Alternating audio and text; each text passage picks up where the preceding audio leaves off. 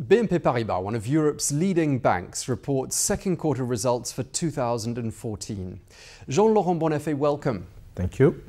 You're the CEO of BNP Paribas. What are your comments on the group's Q2 results?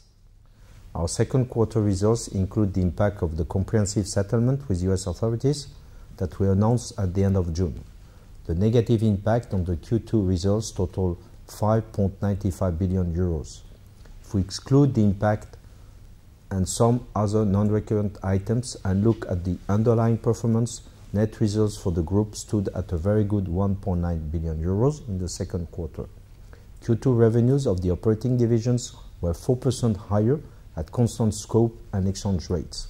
This was on the back of essentially stable retail revenues, increasing investment solutions revenues, and a very good performance in CIB, driven by the strong performance of advisory and capital markets. Operating expenses increased at a lesser pace than revenues, as depicted by the positive jaws in our three main business lines, excluding one-offs. In Q2, we continued to implement Simple and Efficient across the group. This plan is well on track, and it has already delivered 1.2 billion euros of frequent cost savings on a cumulative basis. As a result, gross operating incomes increased by 6% excluding one-offs, while cost of risk stood at 53 basis points, decreasing this quarter and confirming the range-bound stability since the beginning of 2013.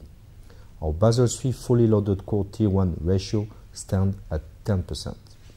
At the same time, BNP Paribas continued to grow its deposit base, as shown by retail banking deposits, which increased by 4.5% compared to the previous year.